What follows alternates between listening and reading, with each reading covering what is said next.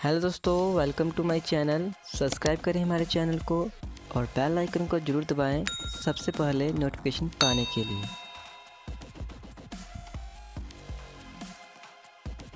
जैसा कि आप थंबनेल देख ही चुके हैं, आज हम इंडिया जीके के बारे में बात करेंगे।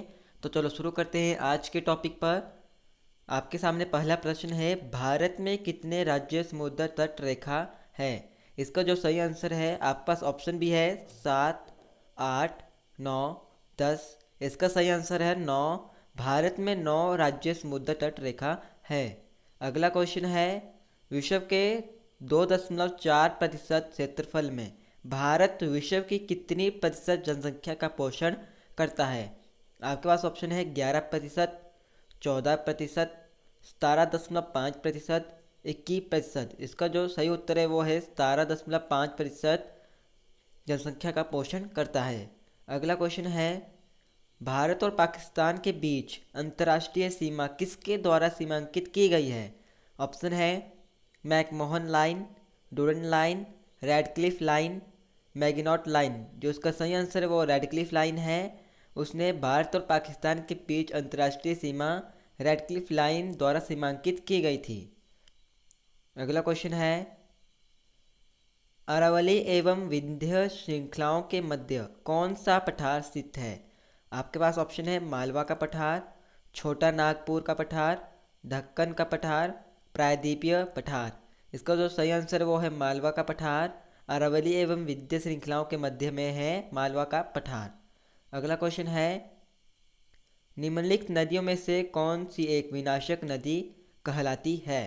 ऑप्शन है नर्मदा, तापी कोसी घंटक, जो इसका सही आंसर है वो कोसी है। कोसी एक विनाशक नदी कहलाती है।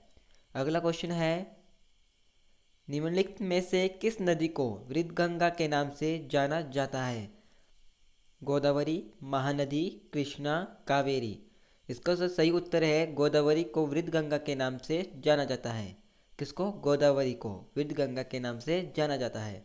अगला क्वेश्चन है हिमालय काटकर एवं बहकर आने वाली नदियाँ हैं Sutlej, Sindhu, Ganga, option two Brahmaputra, Sutlej, Sindhu, option three Brahmaputra, Sindhu, Ganga, option four Sutlej, Brahmaputra, Yamuna. जो इसका सही आंसर वो है ब्रह्मपुत्र, सतलुज, सिद्धू, हिमालय काटकर एवं बहकर आने वाली नदियाँ हैं। अगला क्वेश्चन है, भागीरथी नदी कहाँ से निकलती है? गंगोत्री से, गोमुख से, मानसरोवर से, तपोवन से। जो हमारी बागरथी नदी है, वो हमारे गोमुख से निकलती है। याद रखिएगा।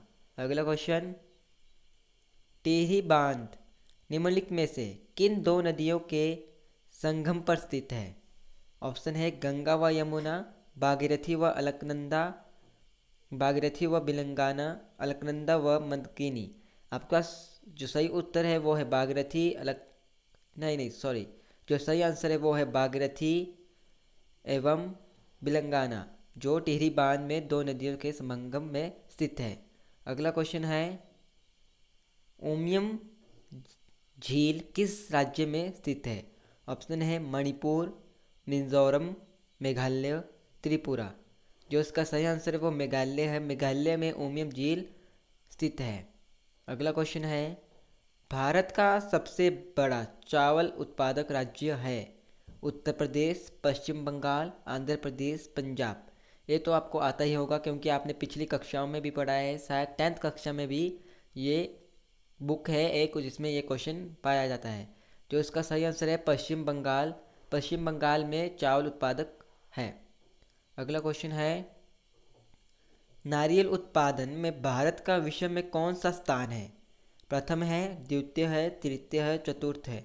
इसका जो सही आंसर है वो तृतीय है। भारत का विश्व में तृतीय स्थान आता है। अगला क्वेश्चन है, जूट सबसे अधिक कहाँ होती है? ऑप्शन है, मुंबई, कर्नाटक, बंगाल का डेल्टाई क्षेत्र, आंध्र प्रदेश। जो हमारे सही आंसर है वो है बंगाल का डेल्टाई क्षेत्र में हमारी सबसे ज़्यादा जूट पाई जाती है। बंगाल का डेल्टाई क्षेत्र अगला क्वेश्चन है, निम्नलिखित राज्यों में से किस राज्य को जैविक खेती करने वाली प्रथम राज्य घोषित किया गया था? ऑप्शन है त्रिपुरा, सिक्किम, अरुणाचल प्रदेश, नागालैंड।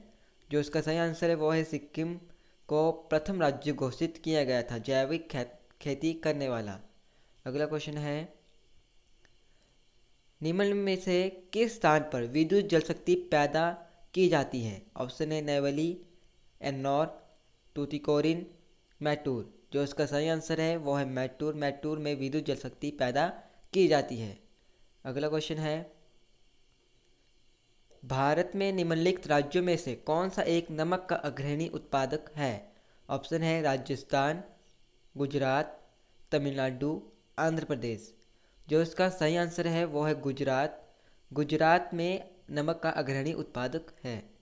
अगला क्वेश्चन है, भारत में प्रथम रेलवे लाइन किसके शासनकाल में बिछाई गई थी?